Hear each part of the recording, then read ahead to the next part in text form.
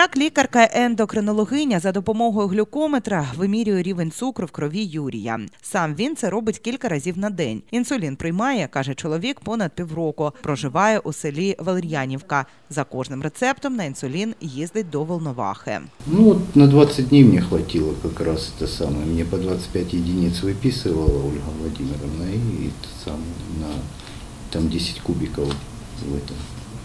Вот как раз на 20 дней. До сьогодні, щоб отримати рецепт на інсулін, пацієнту щоразу необхідно було їхати до лікаря-ендокринолога. Від 1 жовтня повторний рецепт зможе видавати і сімейний лікар, якщо не треба змінювати план лікування. За місяць лікарка-ендокринологиня внесла до реєстру понад сотню електронних рецептів. Всього у неї на обліку понад 2 тисячі хворих на цукровий діабет. З них інсулін отримає близько шести сотень пацієнтів.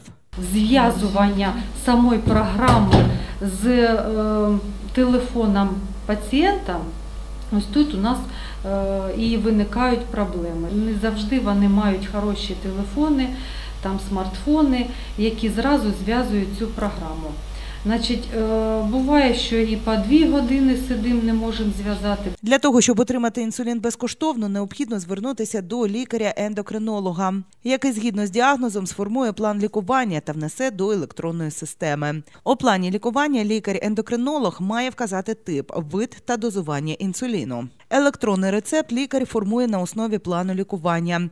З електронним рецептом пацієнт може звернутися до будь-якої аптеки, у якої укладений договір з НСЗУ, надавши рецепт або вказавши його номер чи код, отримати препарат. Гроші за інсулін відшкодовуватиме Національна служба здоров'я України, говорить Ганна Власенко.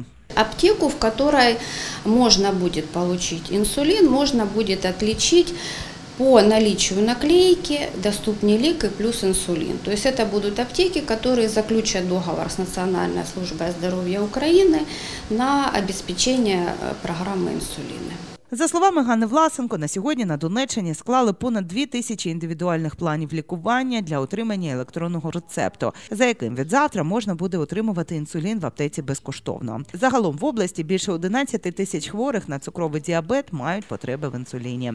Юлія Слабінська, Олександр Кидалов. Новини на Суспільному.